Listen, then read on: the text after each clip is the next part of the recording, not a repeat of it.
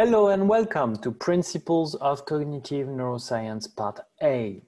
As you may know, the course is divided in three parts. The first part, we will speak about the main models, the way people imagine the brain works. How does it work?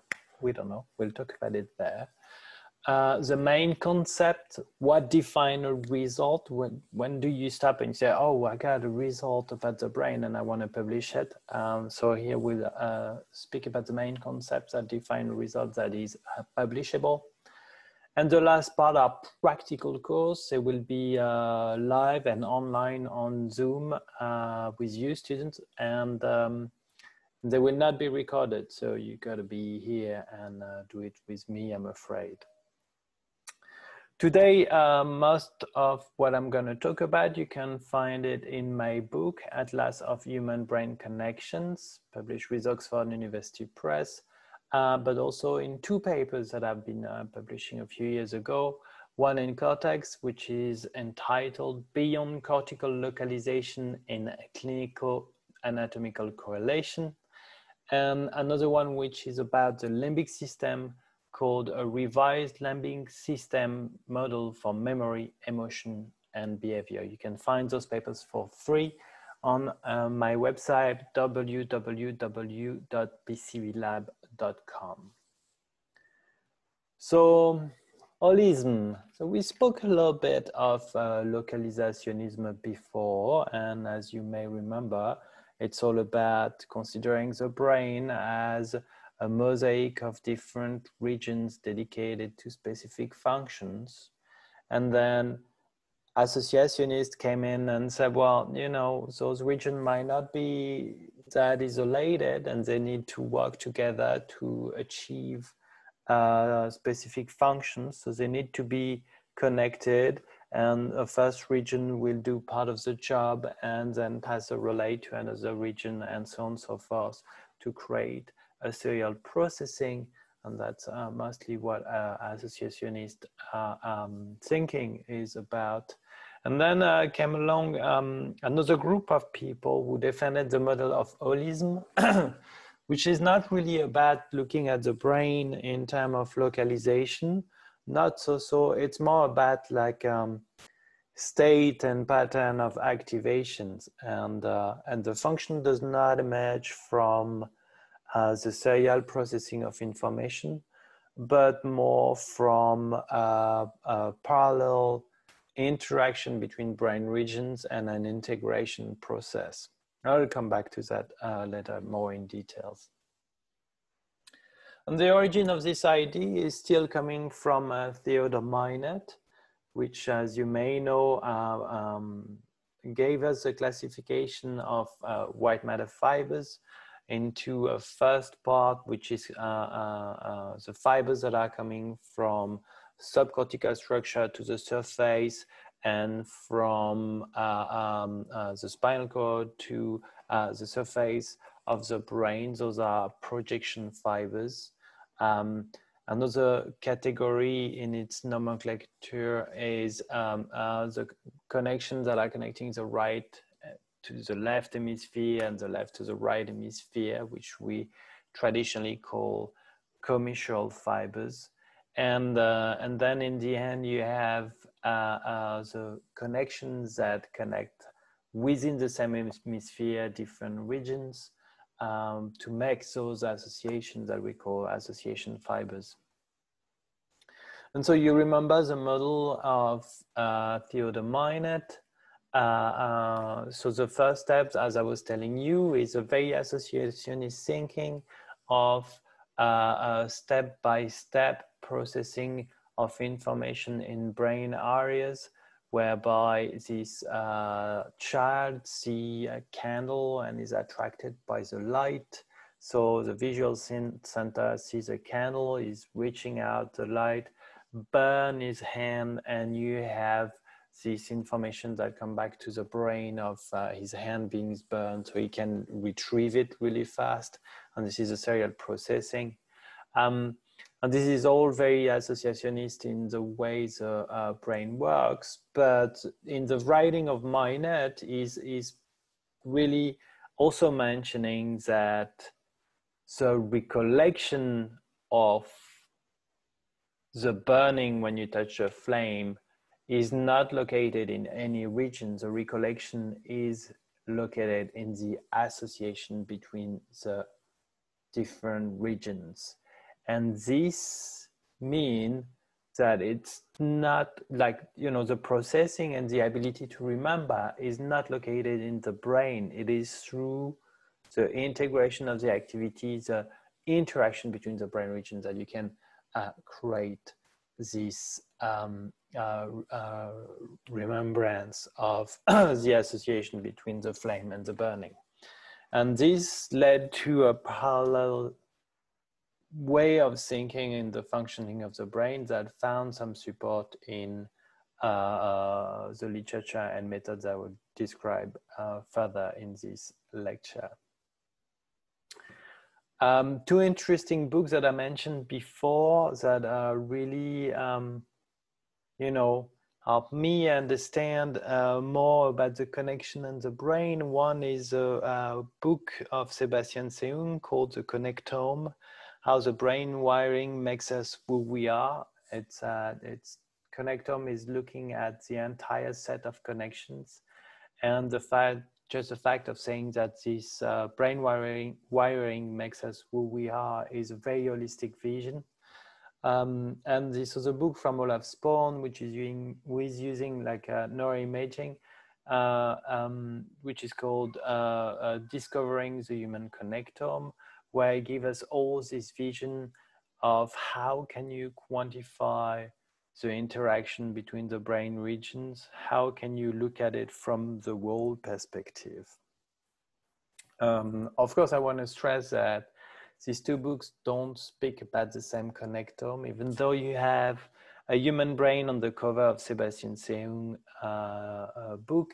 He's been uh, spending most of his life studying the mouse brain uh, because uh, he's using electron microscopy to decipher the human connectome at, at the level of the synapse and have such a gorgeous but complex representation of what a full connectome can be.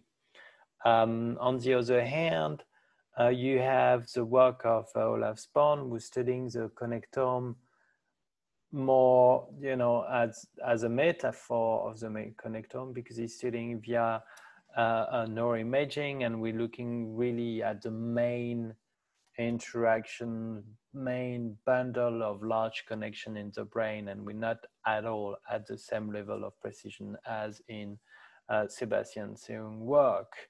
Um, why are we doing that? Well, you know, because on the one hand, the work of Sebastian Seung is extremely precise and, and it is the absolute truth. Um, you know, being able to do the same thing for the human brain is is a myth. It will it will never happen. We will will never be able to have uh, uh, the entire human brain um, connectome at the synaptic level. It's it's way too big in terms of information, way too hard, and on top of that, it is highly variable and it changes with time, as I was saying in my last lesson. So between the beginning and the end of this lecture, your connectome and the synapses, synaptic exchange that you have and the number of synapses might actually change. On the other hand, uh, the uh, uh, connectome I've described by Olaf Sporn is totally feasible because you scan people 20 minutes in the MRI scan and you're able to extract valid information how the gross connectivity of the brain is working. And, uh, and that's a unique opportunity to study it in our species. Now, um, and that's why I'm saying this is a connectome as a metaphor because we actually don't have a, a seeing of the entire connection as Sebastian Seung is uh, presenting it. Now, when we speak about the holistic model, it's important to uh, put it in contrast with the two other models. As I was saying, the localizationist model imagines the brain as a mosaic of areas that are dedicated to specific functions. And if you damage a brain region in this mosaic, you will have an impairment that is related to the function of this region only. and never impact or alter the functioning of neighboring regions. With the associationist model, it is slightly different because region work as a network and they are interconnected and they pretty much work as a hierarchical as a hierarchical organization. And if you if you damage uh, one of the region inside this network then you will have an impact on the regions that are uh, connected to uh, this region and this will reflect onto the behavior of your uh, patient now with the holistic model, it is, uh, it is uh, slightly more extreme than the associationist model because everything to some extent is connected with everything. So if you damage a brain area, this will reflect on the entire brain and change the activity of the entire brain and this will subsequently reflect into the behavior of your patient. And you see how those three models, which you know, which has three ideas of how the brain works, uh, and defended firmly defended by uh, different uh, different scientists. My fine ground proof from uh, uh, experimental evidence, and uh, I'll show you some for the holistic model. But first, let's try to put our mind into the mind of the researchers that uh, uh, took this path and, and try to understand how they came to uh, the point. They thought the brain is extremely complicated and everything is interconnected. Essentially, you know, when you try to do clinical neuroanatomy uh, uh, correlations, um, you try to link up uh, psychological models that you can have of the brain uh, with the anatomy of the brain via the extraction of behavior uh, through a, a, neuropsychological methods. So here, for example, you have the Rey figure and uh, the way you can calculate uh, correlation coefficient right under. And so the idea is uh, you make a correlation between the performance of the Rey figure and some specific anatomical feature in the brain and that inform you about where are the different boxes of your psychological model. But the problem is like, uh, um, so for a long time, we didn't really have access to a very refined measurement of the living human brain. You know, MRI scan is just uh, uh, came, you know, became like usable in the 80s uh, and fMRI in the 90s and tractography really came out like in the year 2000 1999 uh, 2000 um, so you know like researcher made just a shortcut. And so like you know we don't have enough information about anatomy. It's like way too complicated. How about we do a closed loop just between psychological models and methodology and try to find how we can split our boxes and add new arrows inside the our model and this is how you had uh, uh, 50 years of intense uh, uh cognitive neuroscience that was based on uh, building boxes and arrows model of the functioning of the human mind.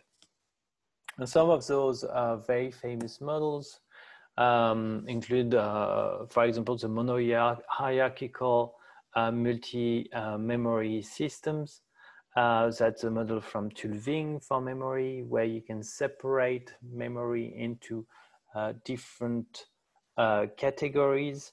And, um, and so like you have, for example, episodic memory, which is temporal event that you remember in a subjective time. So you can really think about, oh yeah, I, I had coffee yesterday with my friend Julie and uh, we had a lot of fun and she told me this fantastic joke.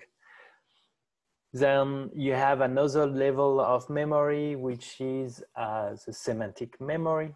It is a general knowledge and uh, it's not related to a specific event and you'll have it uh, uh, especially you, you know you can define what a coffee cup is or what a joke is, but you never can relate at when you learn what a coffee cup is.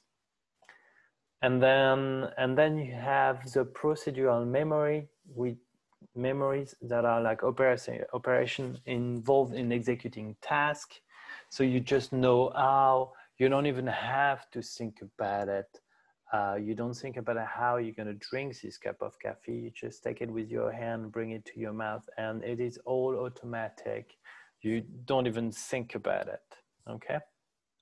Those three level of memories uh, we know they belong to different boxes because they can be impaired uh, separately in uh, different um, in different patients. Uh, for example, episodic memory, you get the case of Henri Molaison that I spoke about in the previous lesson, who had surgery and lost the ability to build new uh, event memory after his surgery. Um, you have the semantic memory impairment, typically um, um, in semantic dementia, uh, where where uh, uh, where people have a progressive damage of the brain that leads them to completely lose uh, the semantic of things, and uh, you have some more rare cases of uh, people who lose completely uh, uh, procedural memories. I um, believe some Parkinson patients can show that. Um, so they the, they lose really the knowledge of the procedure, how to uh, do things such as like uh, starting the way they're gonna uh, work, for example, and they need to think about it or for themselves. Um, another model that was uh, uh, also uh, interesting to mention is uh, uh, the model from uh, Marsel Mesulam, you know, steel boxes and arrows, um, where you have interaction between a box. Well, here it's round, but let's imagine it's a box, which is a top-down modulation from prefrontal parietal limbic cortices, and that's a top-down modulation of attention, and that's a model for attention. Uh, and this always interact with bottom-up modulation uh, uh, of attention. And so, so this exchange is very important for your survival uh, uh, outside because uh, you need to be able to orient your attention to the things you need to do, such as keeping your attention on the screen of the computer and listening to me. and and try to not be too distracted by what might happen, which can be uh, your daughter, for example, popping out with uh, some paint on her hand ready to uh, touch the wall. And this is definitely going to capture my attention if this happens. Um, and, uh, and those two together uh, uh, can um, modulate the way you distribute your attention on the outside world. Okay. Now, what is interesting is uh, so, so you know the way you distribute your attention looking at brain lesion is not completely equal if you have a lesion in the right hemisphere or if you have a lesion in the left hemisphere. So if you have a lesion in the right hemisphere, apparently you can lose a lot of your distribution of your attention toward the left side of uh, space around you.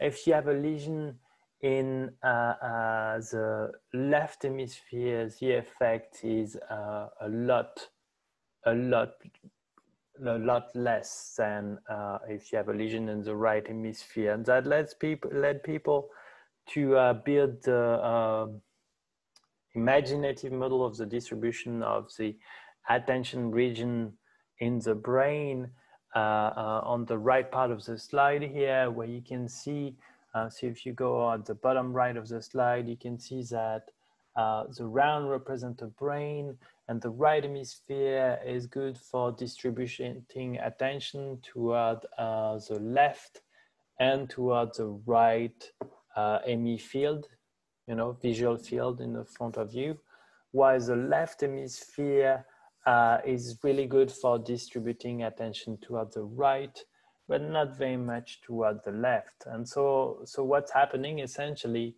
is that if you damage your right hemisphere, then you will have uh, only the ability to orient your attention to uh, uh, the right. And if you damage your left hemisphere, you still keep some uh, capacity to direct your attention to the left and the right. That was a pretty smart models that kind of explain the behavior of patients.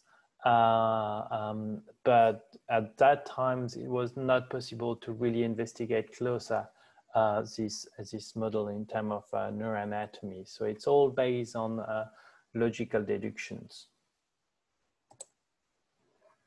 Then you have uh, the um, language model, boxes and arrows from McCarthy and Warrington that is linking a verbal input uh, from articulatory output and typically the Wernicke area to uh, the uh, Broca area. Um, but this uh, system from uh, verbal input will go to verbal comprehension. So we're really in Wernicke.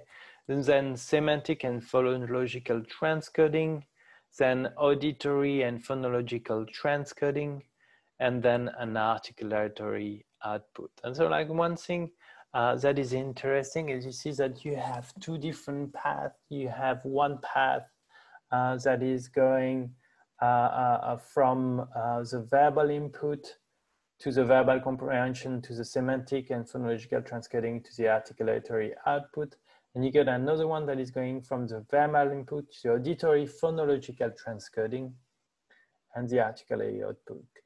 Uh, articulatory output. And these segregate two paths in the brain for language, one which will be more uh, auditory verbal. Uh, you don't need to understand what you hear to say it. And another one which will be more semantic Okay. And we know that, you know, mainly because of uh, conduction aphasia, you know, if you disconnect uh, the arcuate fasciculus between Broca and Wernicke, and uh, uh, the book says that as a patient will not able, be able to repeat exactly what you said. So typically you tell them like, repeat after me, tomorrow I will go to as a drugstore to buy some uh, coke for my daughter and uh, the patient repeat uh, tomorrow you, I will go to the supermarket to buy some Pepsi for my child. And so you see how like the verbal uh, represent exact verbal representation, auditory phonological representation has been lost by the disconnection, but the patient is still able to reproduce sort of what you said through the semantic route, okay?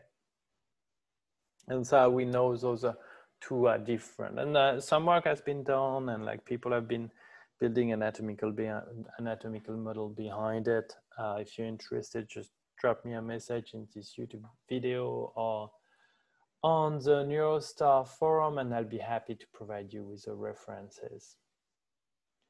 Uh, but for now, let's uh, move on to uh, the real father of the holism, which will be Karl Lashley. Um, and so the idea of uh, Karl Lashley that that's exactly what he wrote inside his book.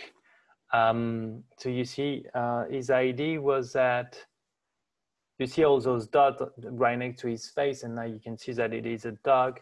But if it's not moving, and if you was looking at it before it was moving, it would have been very hard for you to see that it is a dog. A dog.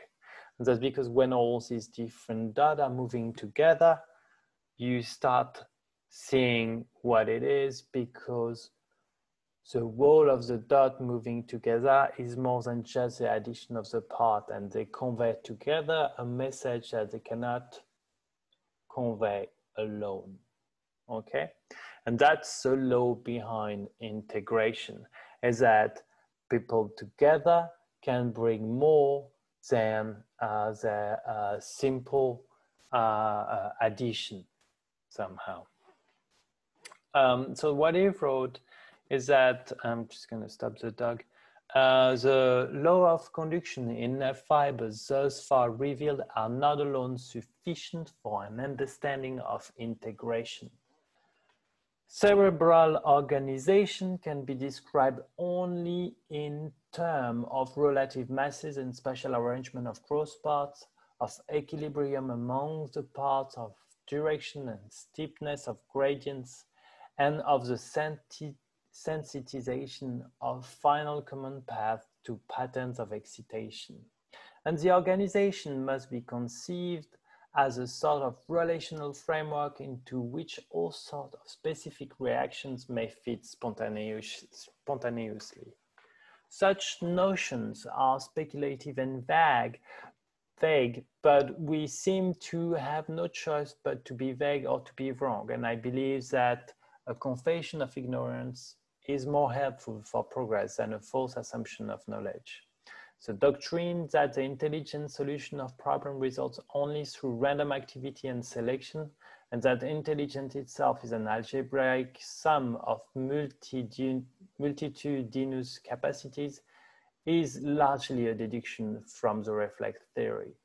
And the reflex theory is the basics of associationism that reflects association between brain regions. But really, Lashley is saying there is something more behind the interaction between brain regions that just, you know, conveying the information. There is an interaction that gave an integration that lead to uh, uh, uh, uh these magic things that happen in the brain. And um, Mean, we can think about it just in terms of uh, um, modeling information. So, so we have our three models here, and uh, uh, we said on you know we have the on the left the localizationism. On in the middle we'll have the uh, um, uh, associationism, and on the right we'll have the holism. Um, so really, the idea on on the localizationism, if we reduce the brain into three regions, A, B, and C, is that each region is specific to a function. And then essentially you can only do uh, three different uh, functions with your brain, which is you either activate A, there will be one for A, zero for B, and zero for C, or you activate B and there will be zero for A, one for B and zero for C. or you activate C and there will be zero for A, zero for B and one for C. Now, with the associationist concept, the way you perceive the brain is like, okay, you still have those three regions, but they have a special pattern of interaction and A is connected to C and C is connected to B to form this hierarchical organization that will produce a behavior. But if you do so, then in your model ABC, uh, the only thing that you can do is only activate the entire series of events, A, B, and C being activated in series, or nothing at all. And then you you know you can only have two different states really in your uh, in your brain uh, uh, and only one that would be related to a specific function. And now with the holistic vision uh, what matters is really the pattern the overall state of the brain that will reflect a specific function. And in that case, everything is connected with everything. So you can take any profile of activation where A is activated and B and C is not, and that's a function. A and B are activated, but C is not, and that's another uh, uh, uh, function. A, B, and C are activated together, and that's another function. And you can take a lot, a lot more state than you can with the localizationism or the associationism models. And I just, you know, invite you to think about it and see whether the complexity of the human mind can be really depicted uh, uh, very well with a simple model of region in isolation or just hierarchy, or if you start thinking that really maybe uh, the holistic model might get some um, some more coverage of uh, how to link the functioning of the human brain with you know the beauty of the human mind. Now these ideas had like uh, some impact because uh, carl lashley is behind uh, the the training of very important researchers if you go on Neurotree uh, it's a website. You can actually see how uh, researchers are related together, who were uh, their PhD or postdoc supervisor would teach them and who did they teach and so on and so forth. Now, so if we look at that for Carl Lashley, uh, so Carl Spencer Lashley from Harvard here, um, see, he trained Roger Sperry, who had the Nobel Prize um, and then uh, if we look at Roger Sperry, he trained Michael Gazzaniga, who wrote the lead Principle of Cognitive Neuroscience, which is the same as the title of uh, this uh, uh master. Eran Zeidel, who created lenses to mimic myopia. Giovanni Berlucchi, uh, who's from Verona, is next from here. And Giovanni Berlucchi trained Maurizio Corbetta, who's now professor in Padova. He used to be in Washington University. Um, we'll talk about his work a little bit later. And uh, over there you have uh, uh, Mortimer Mishkin, and we will talk about him a little later, uh, about the what and the where pathways. He worked a lot with Leslie Ungerleider on this. Uh, they did a fantastic job. And then uh, on the other side of uh, this, and all these people, trained people, you got Donald Hebb, which is the father of, uh, uh, uh you know, what fire to say together, connect together. Um, it's, it's really, you know, it's, a, it's like really a lot of very important people that had an impact on the way we understand and imagine the brain works that have an indirect or a direct relation with uh, Carl Lashley. And those ideas travel through time, through training. Like, uh, you know, you kind of think a little bit like uh, the people who train you in science because they somehow bias your judgment in their favor. So Roger Sperry, we were talking about, uh, who was trained by Carl Lashley, had the Nobel Prize uh, for the discovery of brain lateralization. As he was working on, uh, on uh, um, brains that were surgically separated in patients with epilepsy to minimize the impact of the epilepsy. And then he was showing things to the left hemifield, the right hemifield, and was able to uh, investigate really what uh, what was doing the right hemisphere and the left hemisphere, and that it was really coming from this holistic vision of the brain is doing everything to, uh, for the first time, really dividing function between hemispheres. So it's kind of like a, you know, the bad student of Lashley. Uh, you get the Nobel Prize, so I guess Lashley would have been very happy to know that. Um, but um, but it's showing that you know you have form of localization of function in the brain anyway. It's not like all with all. Uh, you have uh, a, it, you cannot be absolute in the way you look at holistic uh, organization. So we spoke about uh, uh, attention just before and the way you have interaction between uh, control goal directed attention and so that will be the top down and the bottom up in the way you modulate attention around the world. And um, this is a model of Maurizio Corbetta who, uh, uh, who himself was trained by Giovanni Berlucchi who himself was trained by George Sperry who himself was trained by Carl Lashley. Um, so I thought it would be interesting to give you a little bit of his work over here Uh, so he studied and was the first to put like a true neural basis onto these two systems that were described by uh, Marsel Mesulam. Uh, so I usually illustrate it this way. Um, uh, so like, you know, imagine that you're in the middle of the jungle, lost, trying to find your path to civilization. You will explore your environment slowly to collect information and eventually find these two silhouettes far ahead and you'll be thinking, man, maybe I'll take the path on the right uh, because it looks like uh, there are more chance for me to find uh, my path back to civilization there.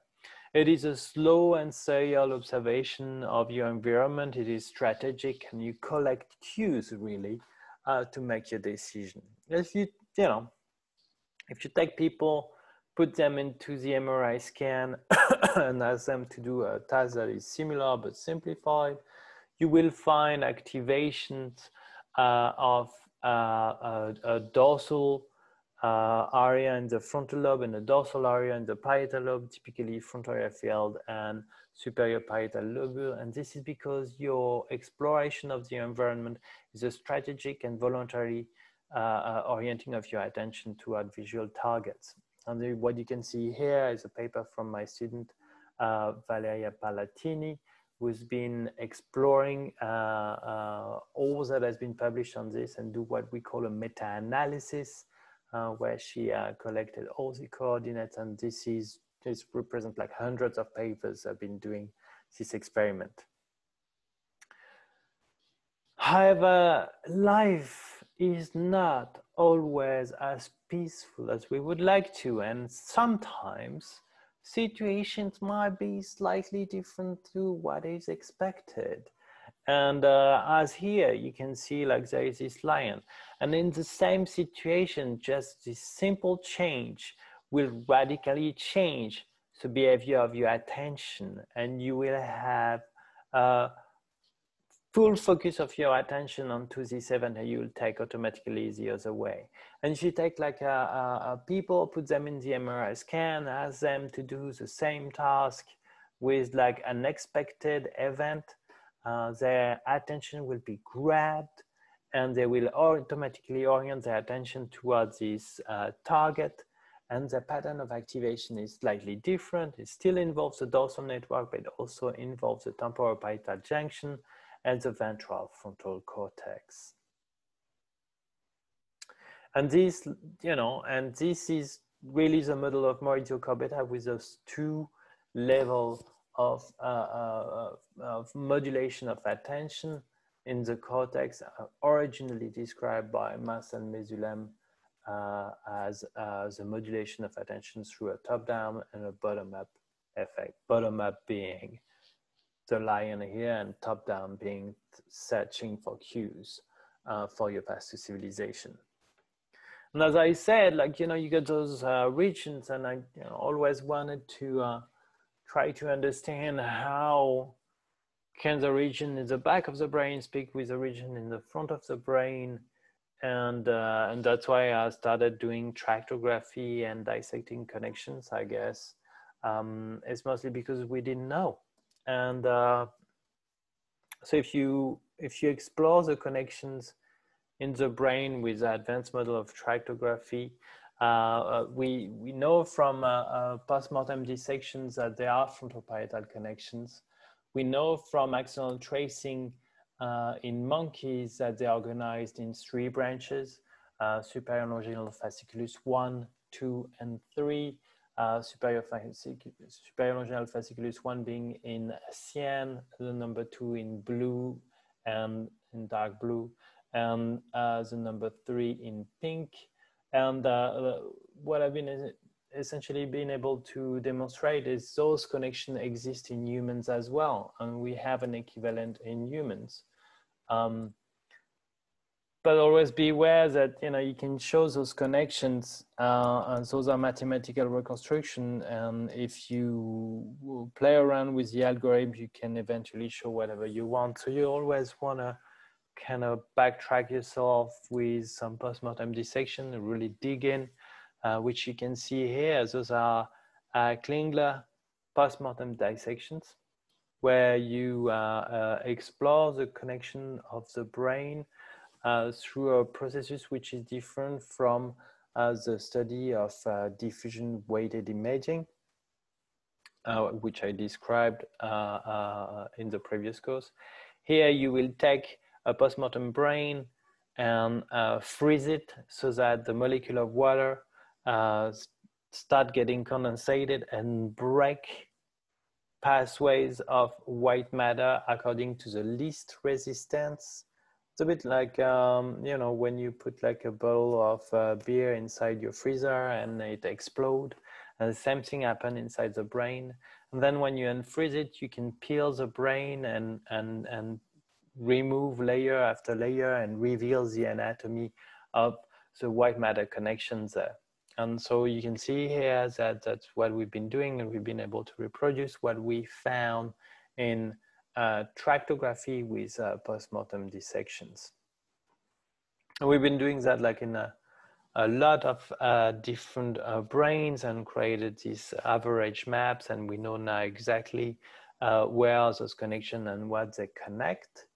And uh, so the idea was to uh, try to see whether a different branch of connections uh, are dedicated to different functions really um, and or is that like a complete mixed up and um, so that's still the work of uh, Valeria Parlatini. So she did it for uh, voluntarily oriented attention and automatically captured attention, but she also did it for a lot of other functions such as saccades and mental imagery, verbal working memory, spatial working memory, phonological processing, semantic processing, motor sequences and inhibition, number manipulation and emotion decision making and mirror neurons. And we looked at those maps together and we were like, nice try. And those functions are really different. But to be honest, the pattern of activation is very similar. And some of the regions you see activated are very comparable across all functions. And so we were like, is there you know some obligatory passages for function where you have a high level of integration um you know some areas like where they tend to uh, be very specific and segregate um, the way we assess that is by looking at correlations and we've seen that you know they're very highly correlated the pattern of activation of all these functions is highly correlated and uh, but you can see emerging some uh, uh, cluster of uh, significance. And the best way to identify a cluster of uh, correlation is to run what we call a principal component analysis. It will extract from your signal principal components, as I said. Um, it's a little bit like um, giving to your statistical software a hundred different soups and asking him to extract what are like as a different ingredient of those soups and it will automatically uh, find similarities between all your soups and say well i found a lot of carrots only uh, 30% carrots in this one 40% carrots in this one 60% carrots in this one. And then uh, you'll be oh yeah well you can find also another uh, uh, ingredient which is broccoli and then tell you how much is in all these different uh, uh, soups. And you do the same thing but those are maps of neuroimaging and the software will tell you well I see this area being classically activated uh, quite often and that's uh, that represent 10 20 30 percent of the variance of your signal. This is what we did and uh, by doing so, we realized that two components were enough to extract 70% of the variance of the signal, which means uh, if you use just uh, those two components, you can reproduce any pattern of activation with a 70% uh, level of precision, um, which is which is quite quite impressive to be honest. And um, and so like the first one happened to be a ventral frontoparietal network, and the second one happened to be a dorsal frontoparietal network, and they intersected uh, pretty much in the middle. So what we did, we tried to see how those uh, different components like overlay with our three branches of uh, frontoparietal connections and uh, um, these two components, sorry, and the intersection. Now, so what happened is that like uh, the component uh, number two happened, which is a ventral, uh, which is a dorsal one, sorry, happened to overlap a lot with uh, the superior branch of the superior longitudinal fasciculus and the component number three happen to overlap a lot uh, and the component number two happen to overlap a lot with uh, the third branch of the superior longitudinal fasciculus. And that was interesting. And we thought like, okay, so we have a segregation in the pattern of activation that is related to segregation in uh, uh, the pattern of connections.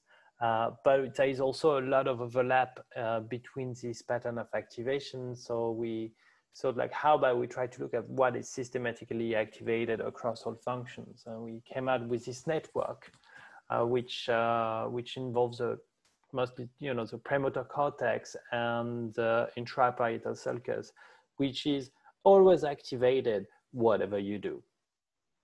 And this that is always activated whatever you do overlap mostly with the second branch of the superior fasciculus. So we were like, oh, wow, that must be like such a high level of processing or integration there.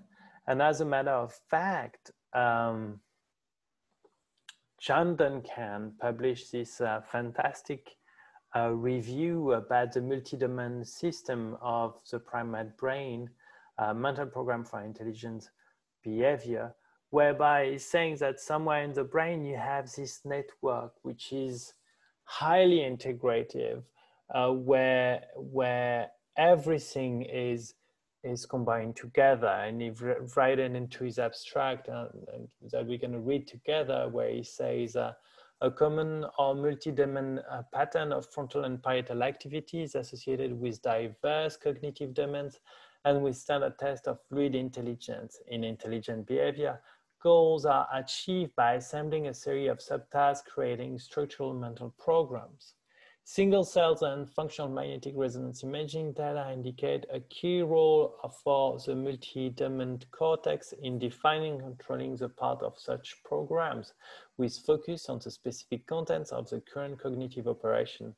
Rapid reorganization as mental focus is changed and robust separation of successive task steps Resembling the structure problem solving of symbolic artificial intelligence, the mental program of the multi-domain cortex appears central to intelligence, thought, and action. It is a fantastic system where everything seems to converge.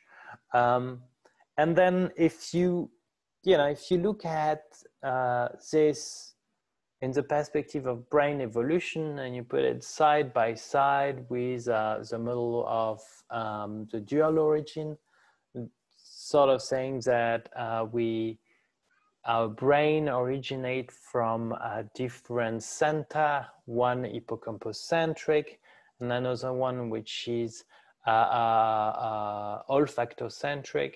And then the olfactocentric follow the arrows that you can um, you can see on the left side, on the lateral view, it went on to from the core of the brain to the lateral surface, and this will be the dark gray.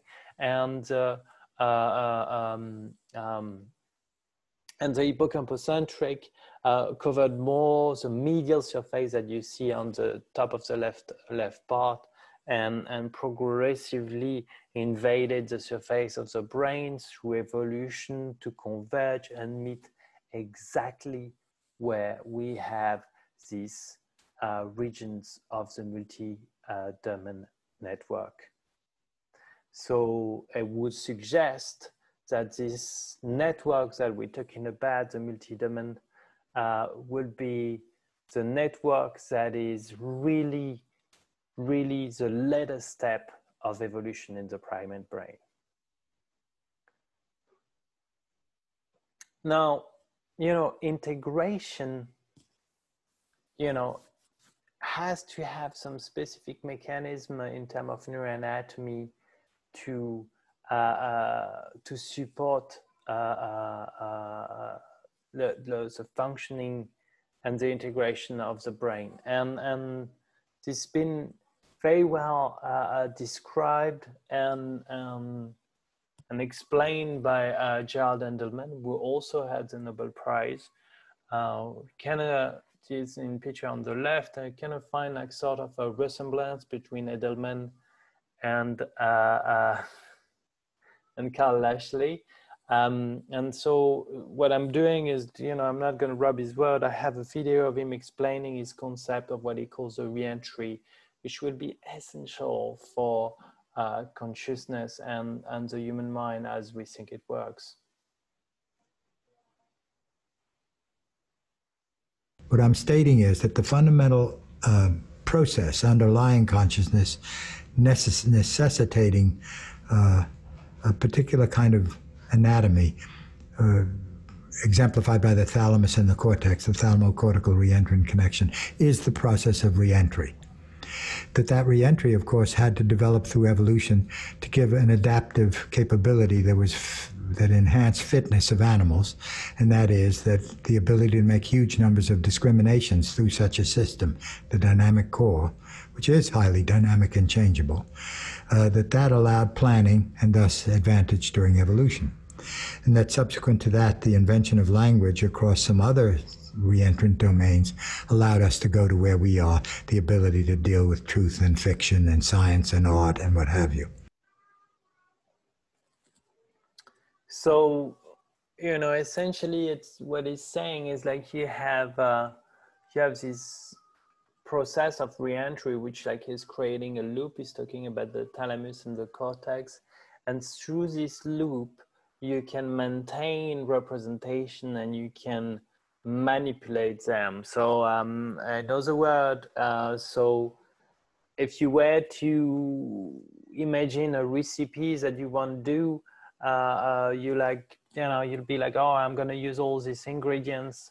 And then you're like mm, i'd like to add like a taste that is nice. So you can maintain in your head like kind of like your recipe and the ingredients and mentally add another ingredient to start thinking well that would be good together and this is only possible through this loop maintenance of a representation that you can uh, modify uh, further on uh, with the rest of the brain. And um, so this is a diagram uh, that is doing.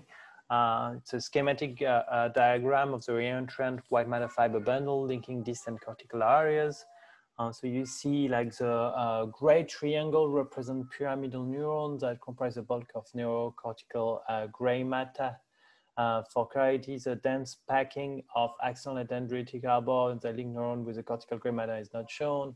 And the color field cycle represent excitatory neuron projecting axon that send reentrant action potential bidirectionally between areas.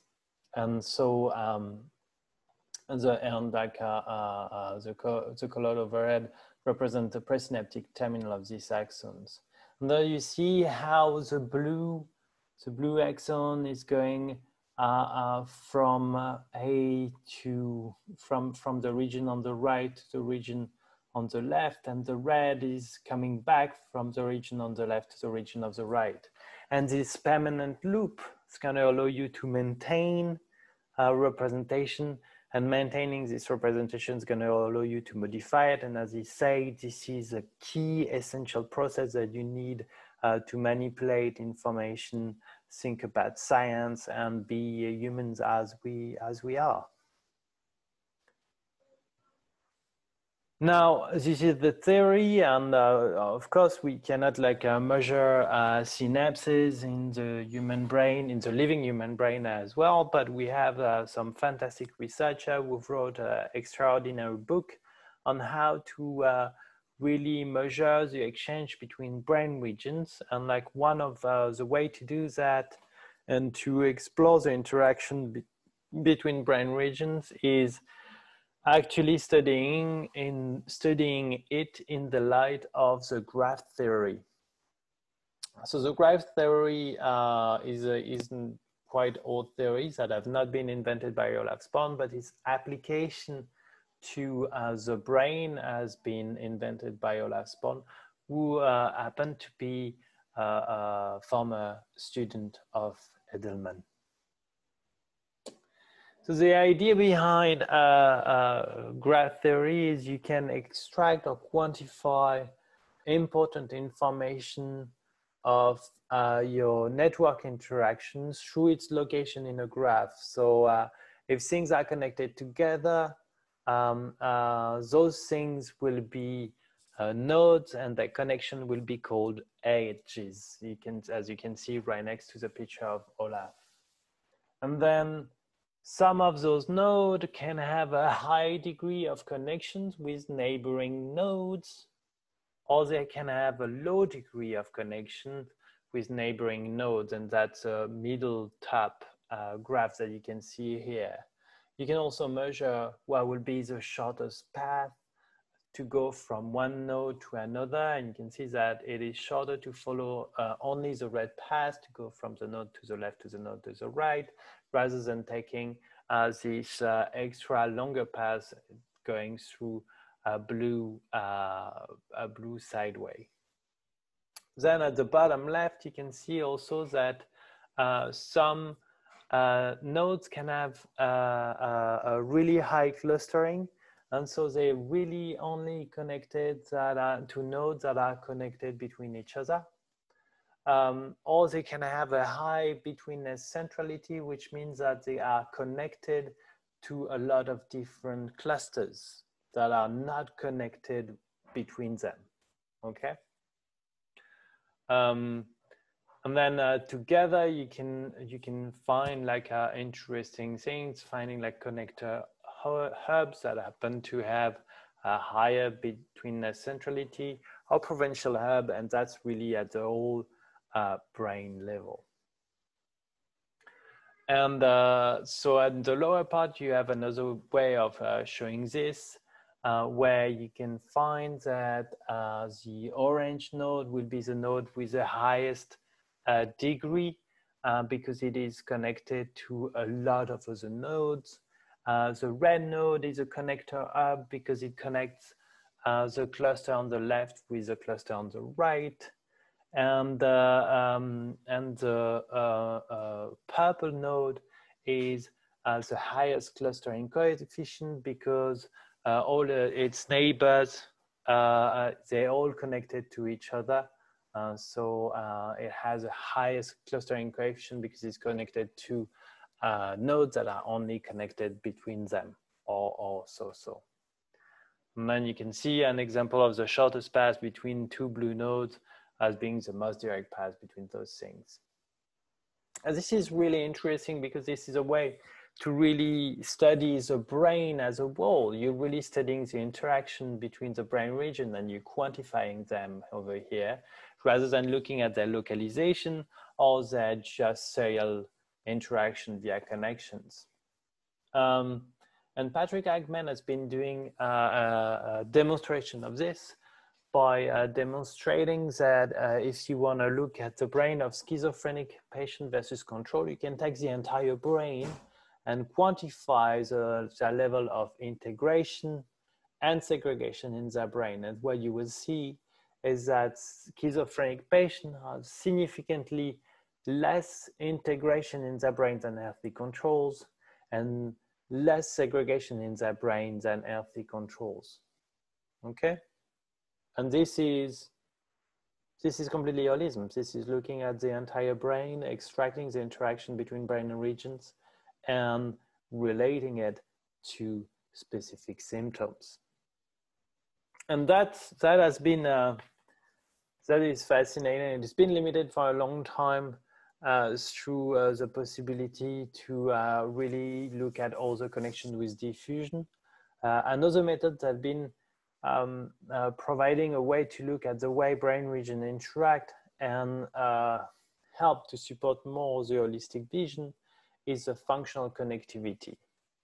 Originally discovered by uh, Bharat Biswal, who's been uh, uh, comparing uh, activation during the movement of fingers to not doing anything, but just looking at the correlation of activity, the shared synchronization of activity between brain regions.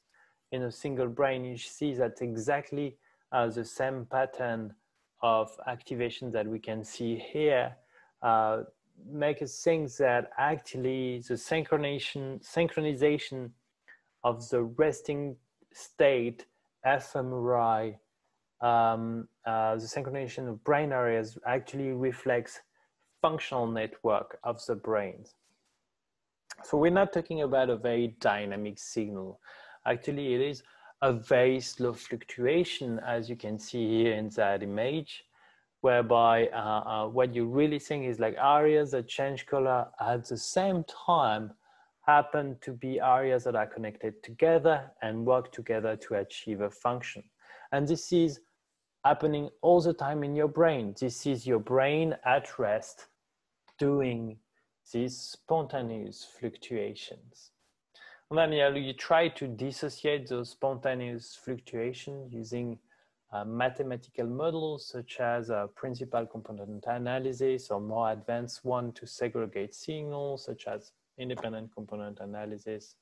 Um, and what you can do, you can do what uh, uh, has been doing is like isolating in the brain specific network of activity and, and dividing the brain in several regions according to their profile of activity at rest.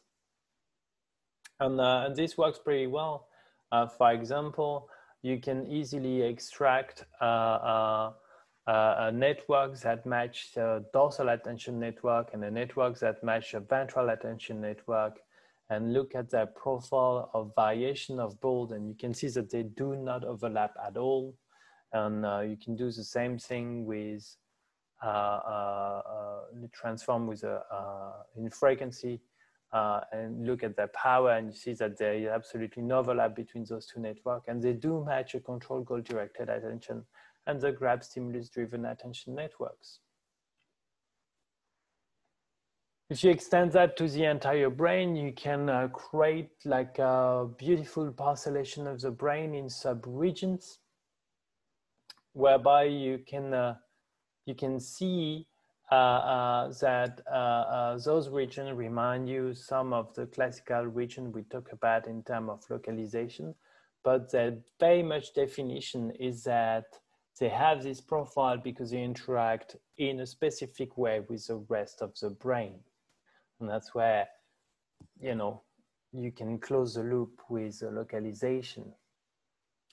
Uh, the problem is like, uh, where do you stop? At what granularity do you stop? Do you divide the brain in seven networks? Do you divide the brain in 17 networks? How far can you go and when do you uh, reach really the noise? Interestingly, you can decline this to uh, the study of patients.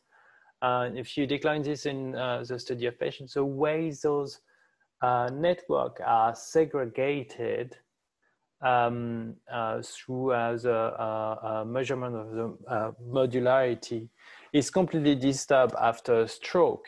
And as this modularity decreases and um, sorry uh, this modularity come back and you uh, start segregating better your network uh, you recover a pattern of functional connectivity that look like a, an average control and your uh, performance is getting better. So you see like those are like the example of the three column, uh, two weeks after the stroke, the modularity is uh, 0.66, and then it's going to one at three months and is still at one at one year, and your patient recover for language.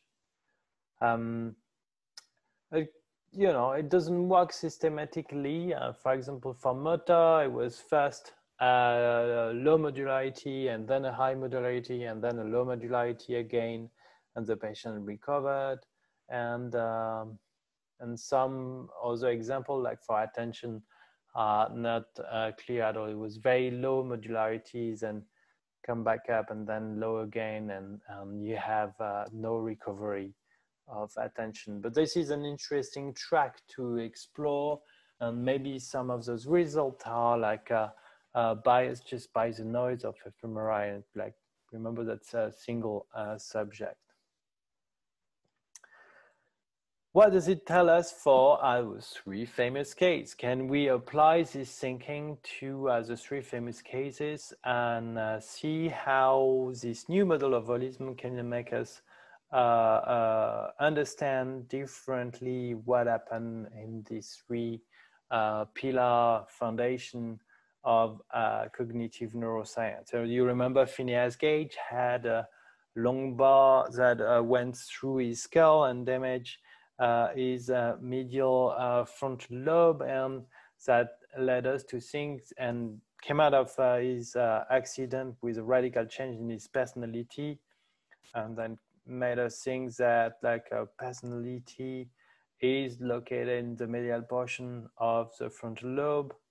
Um, Le Borgne had this lesion in the posterior part of the inferior frontal gyrus, which led us think that there is a Broca area uh, in the in the brain that is uh, responsible for uh, language production um, because he was aphasic.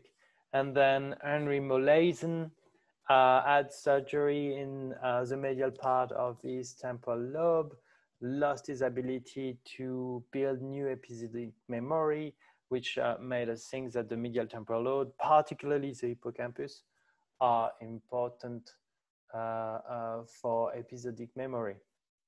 And that was really the traditional localizationist uh, vision for it.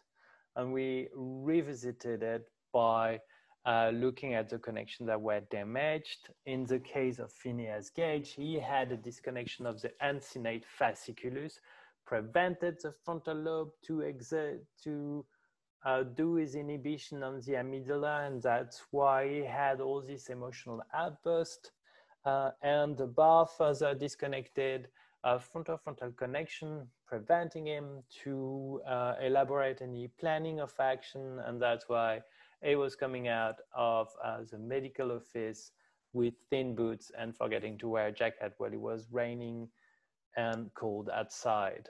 In the case of uh, Le Borgne, the lesion has been completely destroying uh, the arcuate fasciculus, and uh, neighboring connections that we know are very important for language.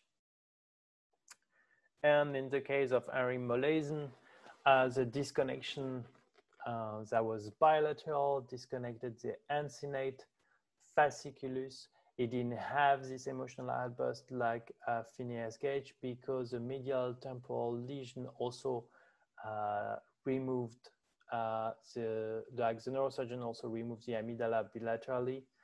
Um, the disconnection of the fornix uh, is also well known for uh, leading to episodic, episodic memory disorder, especially in the case of uh, surgery of the uh, um, cyst of the, uh, third colloid, where where neurosurgeons sometimes touch the fornix and patient come out with episodic memory disorders and uh, the cingulum that support uh, the link between the hippocampus and the retrosplenial cortex is also very important for memory uh, because the retrosplenial cortex we know is a place where you have the highest hypometabolism, the thinnest cortical thickness, and the most of the amyloidoid plaque in the case of Alzheimer's disease.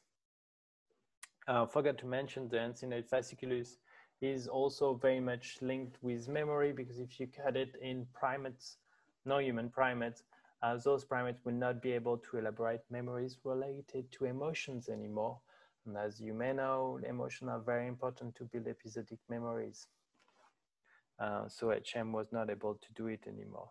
So in sum, you know, by looking at the white matter connection, we've been able to provide an associationist uh, perspective to uh, those three cases, uh, bringing on some explanation of how the brain disconnection has been impairing the serial process of information in different systems that led these patients to have those very typical symptoms uh, made us uh, uh, understand the segregation of function in the human mind.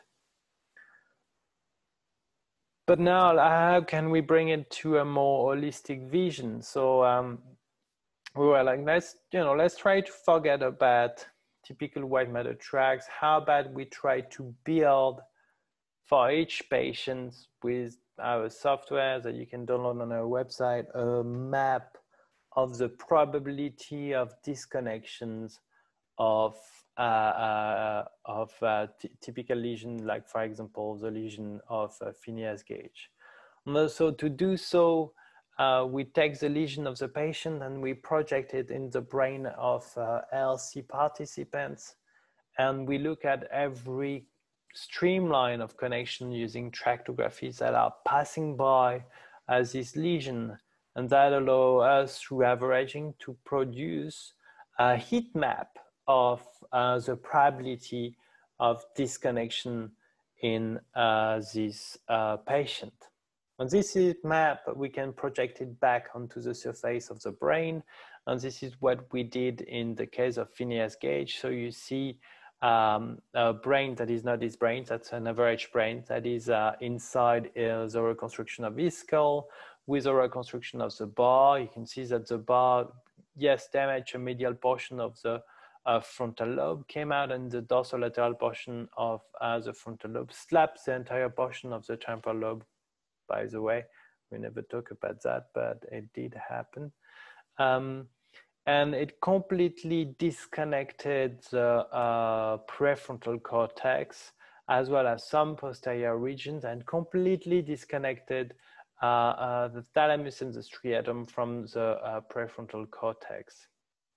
What's interesting is now that you have a pattern of disconnections that you have on the surface of the brain, you can compare it with traditional activation in healthy controls during task of decision making and the processing of emotion. So decision making here will be on the right part of the slide and uh, you'll see it in blue and emotion processing will be in red and the overlap between the two is in pink.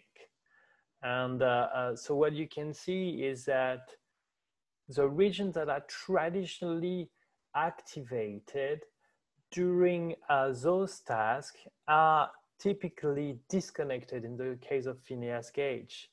And if you need an interaction between all these regions to achieve these functions, the level of disconnection within these regions will siderate, block the achievement of this function. That's why uh, Phineas Gage showed those symptoms. There will be more an holistic vision of it. In the case of Le Borgne, uh, you can see, uh, and Broca never sliced his brain. Uh, if you could see through the brain, you'll see that the lesion really extends completely in the uh, Sylvian Valley and, and, and damage also white matter behind it. And uh, so what we can see is we look at the projection of uh, the heat map of probability of disconnection. We have a full disconnection of uh, the uh, language system, uh, including the Broca area, supramarginal gyrus, and superior temporal gyrus. And we put it side by side with a typical activation during verbal um, verbal production. So you have to like produce as many verbs as you can.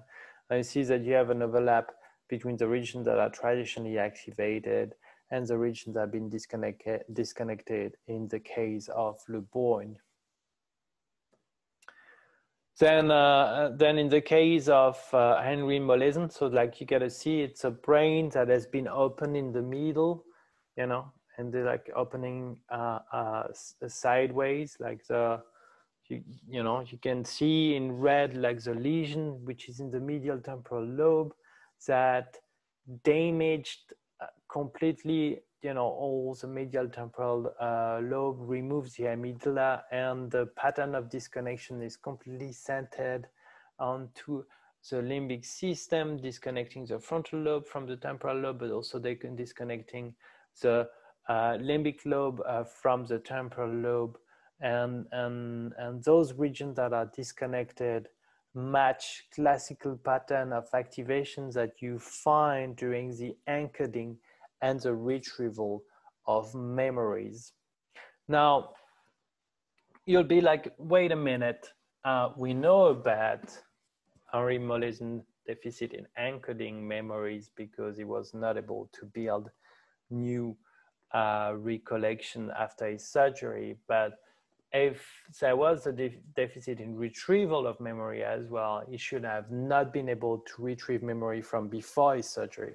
And this is where I'm saying the book says that uh, uh, had only a deficit of encoding, but if you actually read the papers and if you read the book of Susan Corkin on all uh, the um, all the the manifestation and the deficits of Henry Molaison, you will see that he actually lost about 10 years of memory before his surgery that he was not able to retrieve anymore. So the way his lesion has been damaging the connection within the network of activation that is dedicated to encoding and retrieval of memory, been siderating the function, blocking really the achievement of the function in there, and uh, uh, to encode new memories and retrieve memories of what happened before his surgery.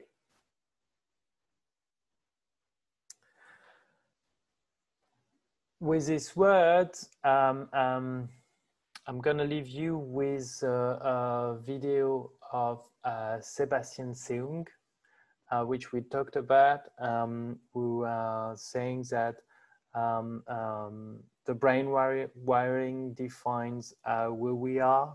He's to explain it to you with these words, and I thought it would be very important that you have a vision of how complex can be uh, uh, the brain connections and uh, why do we use neuroimaging and not electron microscopy to study it in the human brain.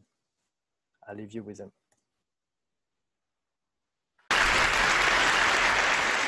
We live in a remarkable time, the age of genomics. Your genome is the entire sequence of your DNA. Your sequence and mine are slightly different. That's why we look different. I've got brown eyes, you might have blue or gray. But it's not just skin deep. The headlines tell us that genes can give us scary diseases, maybe even shape our personality or give us mental disorders. Our genes seem to have awesome power over our destinies. And yet, I would like to think that I am more than my genes. What do you guys think? Are you more than your genes? Yes? yes? I think some people agree. I think some people agree with me. I think we should make a statement. I think we should say it all together. all right? I am more than my genes altogether. I am more than my genes. What am I? I am my connectome. And since you guys are really great, maybe you could humor me and say this all together too? right? All together now. I am my connectome. Oof, that sounded great. You know, you guys are so great. You don't even know what a connectome is, and you're willing to play along with me. I could just go home now. Well, so far, only one connectome is known, that of this tiny worm. Its modest nervous system consists of just 300 neurons. And in the 1970s and 80s, a team of scientists mapped all 7,000 connections between the neurons. In this diagram, every node is a neuron and every line is a connection. This is the connectome of the worm C. elegans. Your connectome is far more complex than this because your brain contains 100 billion neurons and 10,000 times as many connections. There's a diagram like this for your brain, but would, there's no way it would fit on this slide.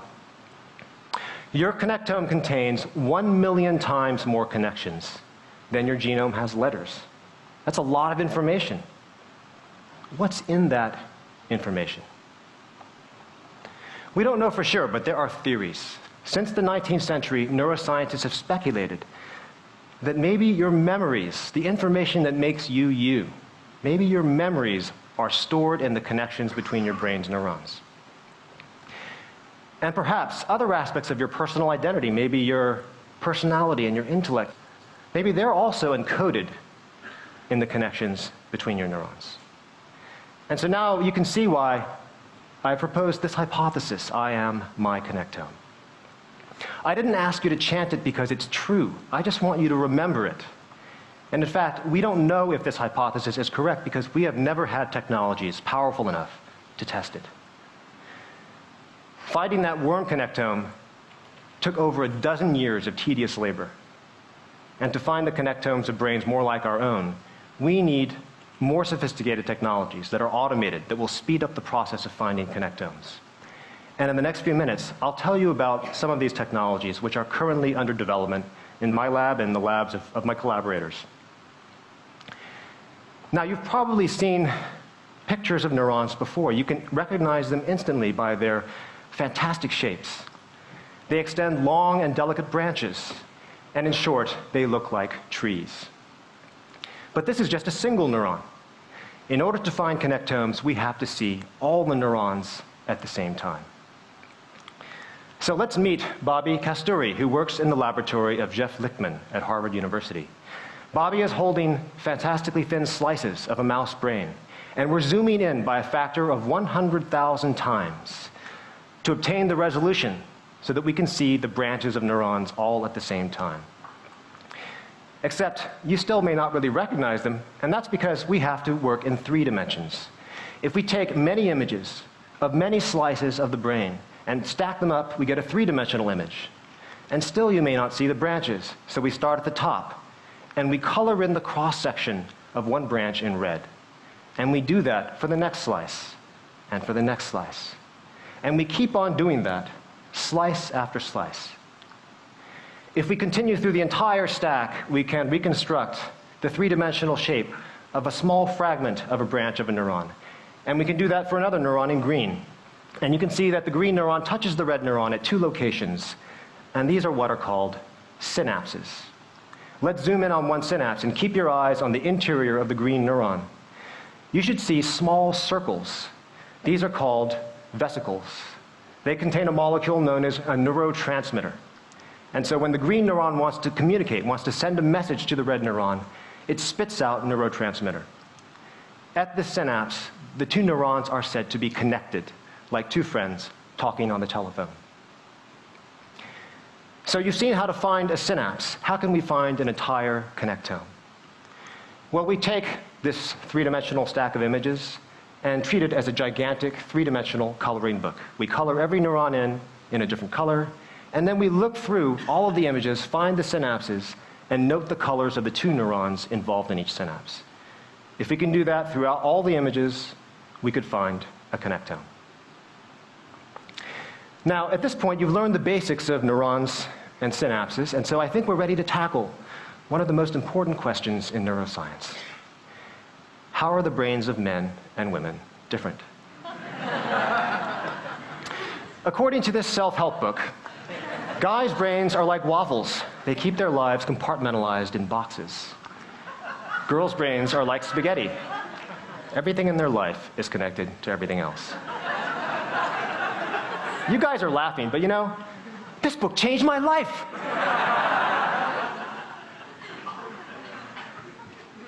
but seriously, what's, what's wrong with this? You already know enough to tell me. What's wrong with this, this statement?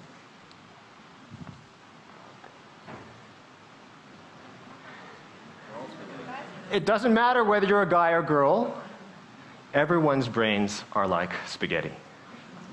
Or maybe really, really fine capellini with branches just as one strand of spaghetti contacts many other strands on your plate, one neuron touches many other neurons through their entangled branches. One neuron can be connected to so many other neurons because there can be synapses at these points of contact. By now, you might have sort of lost perspective on how large this cube of brain tissue actually is. And so let's do a series of comparisons to show you. I'll assure you this is very tiny. It's just six microns on a side.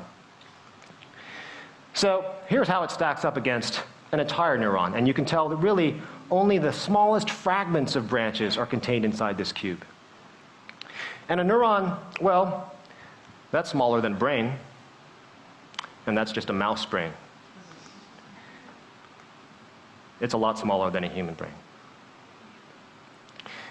So when I show my friends this, sometimes they've told me, you know, Sebastian, you should just give up. Neuroscience is hopeless. Because if you look at a brain with your naked eye, you don't really see how complex it is. But when you use a microscope, finally the hidden complexity is revealed. In the 17th century, the mathematician and philosopher Blaise Pascal wrote of his dread of the infinite. His feeling of insignificance at contemplating the vast reaches of outer space. And as a scientist, I'm not supposed to talk about my feelings. Too much information, Professor. but may I?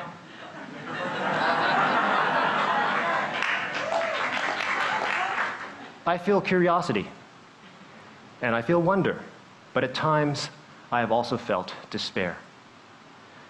Why did I choose to study this organ that is so awesome in its complexity that it might well be infinite.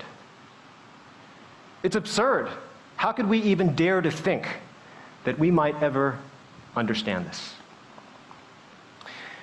And yet I persist in this quixotic endeavor, and indeed, these days I harbor new hopes. Someday, a fleet of microscopes will capture every neuron and every synapse in a vast database of images and someday, artificially intelligent supercomputers will analyze the images without human assistance to summarize them in a connectome. I do not know, but I hope that I will live to see that day. Because finding an entire human connectome is one of the greatest technological challenges of all time. It will take the work of generations to succeed. At the present time, my collaborators and I, what we're aiming for is much more modest, just to find partial connectomes of tiny chunks of mouse and human brain. But even that will be enough for the first test of this hypothesis that I am my connectome. For now, let me try to convince you of the plausibility of this hypothesis, that it's actually worth taking seriously. As you grow during childhood and age during adulthood, your personal identity changes slowly. Likewise, every connectome changes over time. What kinds of changes happen? Well, neurons, like trees, can grow new branches, and they can lose old ones. Synapses can be created, and they can be eliminated. And synapses can grow larger, and they can grow smaller. Second question what causes these changes? Well, it's true to some extent, they are programmed by your genes, but that's not the whole story. Because there are signals, electrical signals that travel along the branches of neurons, and chemical signals that jump across from branch to branch. These signals are called neural activity. And there's a lot of evidence that neural activity uh, is encoding our thoughts, feelings, and perceptions, our mental experiences. And there's a lot of evidence that neural activity can cause your connections to change. And if you put those two facts together, it means that your experiences can change your connectome. And that's why every connectome is unique, even those of genetically identical twins. The connectome is where nature meets nurture. And it might be true that just the mere act of thinking can change your connectome, an idea that you may find empowering. What's in this picture? A cool and refreshing stream of water, you say. What else is in this picture? Do not forget that groove in the earth called the stream bed. Without it, the water would not know in which direction to flow. And with the stream, I would like to propose a metaphor for the relationship between neural activity and connectivity. Neural activity is constantly changing. It's like the water of the stream, it never sits still. The connections of the brain's neural network determine the pathways along which neural activity flows. And so the connectome is like the bed of the stream. But the metaphor is richer than that because it's true that the stream bed guides the flow of the water. But over long time scales, the water also reshapes the bed of the stream. And as I told you just now, neural activity can change the connectome. And if you'll allow me to ascend to metaphorical heights, I will remind you that neural activity is the physical basis, or so neuroscientists think, of thoughts, feelings, and perceptions. And so we might even speak of the stream of consciousness. Neural activity is its water, and the connectome is its bed. So let's return from the heights of metaphor and return to science. Suppose our technologies for finding connectomes actually work. How will we go about testing the hypothesis, I am my connectome? Well, I propose a direct test. Let us attempt to read out memories from connectomes. Consider the memory of long temporal sequences of movements, like a pianist playing a Beethoven sonata. According to a theory that dates back to the 19th century, such memories are stored as chains of synaptic connections inside your brain. Because if the first neurons in the chain are activated, through their synapses they send messages to the second neurons, which are activated, and so on down the line, like a chain of falling dominoes. And this sequence of neural activation is hypothesized to be the neural basis of those sequence of movements. So, one way of trying to test the theory is to look for such chains inside connectomes. But it won't be easy because they're not going to look like this. They're going to be scrambled up. And so we'll have to use our computers to try to unscramble the chain. And if we can do that, the sequence of the neurons we recover from that unscrambling will be a prediction of the pattern of neural activity that is replayed in the brain during memory recall. And if that were successful, that would be the first example of reading a memory from a connectome.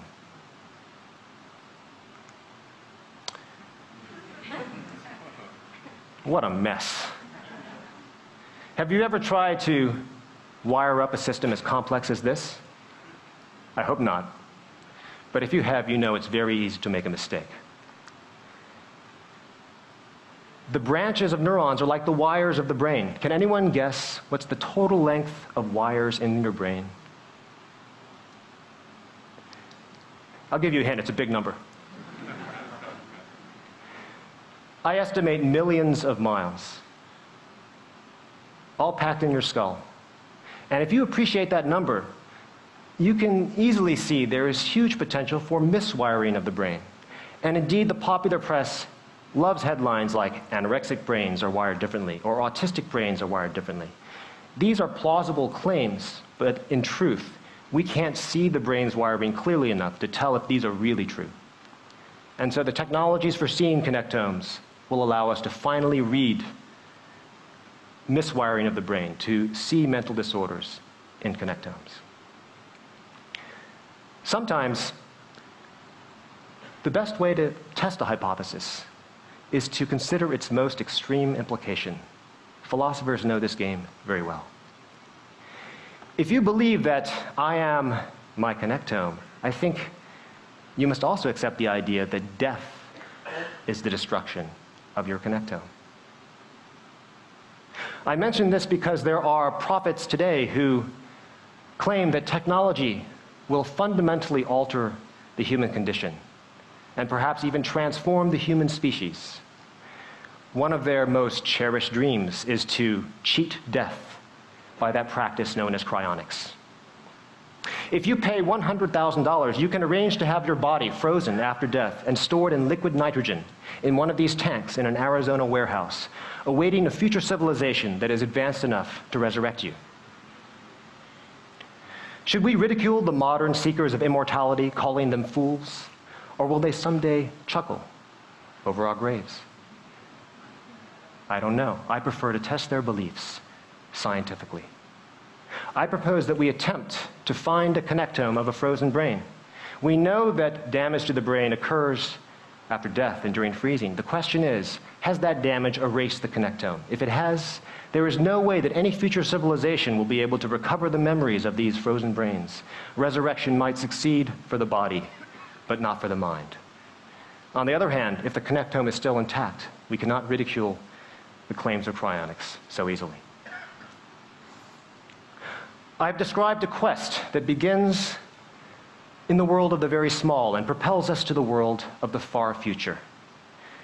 Connectomes will mark a turning point in human history.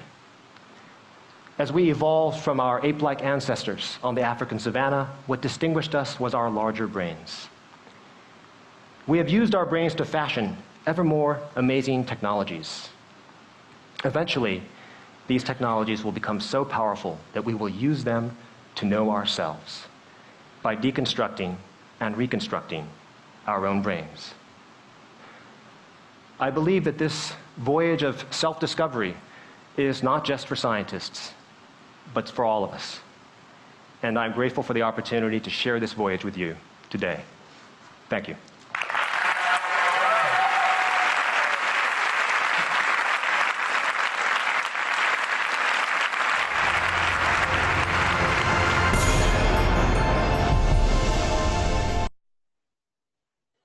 What a nice lecture. Um, so following up with this, we'll see in the next lecture that um, all these models of the brain functioning are related to the activity of neurons and their connections. But there might be some forgotten, forgotten cells in the brain uh, that we didn't talk about, which are the glial cells. Um, so we'll talk a little bit about uh, what we know about glial models and their relationship to, uh, to function. Uh, I invite you as well to join us on the 11th and the 13th of November for uh, the brain structure and function special issue symposium about structural connectivity of the cerebral cortex. Um, I know you won't be able to assist it live, but you will be able to uh, watch a replay on our YouTube channel and I also invite you to join us every morning, uh, every Monday morning at 9.30 uh, for the Neurochino, during which we speak about the exciting, exciting science of the last week. Um, regarding the evaluation of this module, uh, the grade that you will obtain for the part A of this module is a combination between your attendance to the live uh, session, your participation, which is quantified as uh, questions you will ask, whether you ask it on the YouTube channel or on the um, Neurostar forum, as well as a little project that I'm asking you to do. I would like you to write an essay on the brain hierarchy, uh, the brain hierarchy. So you got to choose a hierarchy that you want to describe in the brain and uh, write a little essay about it with a general introduction, uh, its anatomy, uh, tell me whether this hierarchy is lateralized or not, and if nobody investigated it, how would you do you think people should investigate it? Uh, I would like you to link this hierarchy with a brain evolution and make a synthesis where you bring all this anatomy, lateralization, and evolution together. All of this in a total of 1500 to 2500 words, not including the words counted as references. Thank you for sending me this at my email that you can see here, michel.thiebaut at gmail.com uh, before the 11th of September. This grade will be averaged with your grade to the part B of this course with uh, Antonino Valesi. Um, and uh, that will give you your file, final evaluation for the entire module. I would like to thank you for your attention and I look forward to see you uh, in uh, the next um, uh, practical session. Thank you very much. Bye-bye.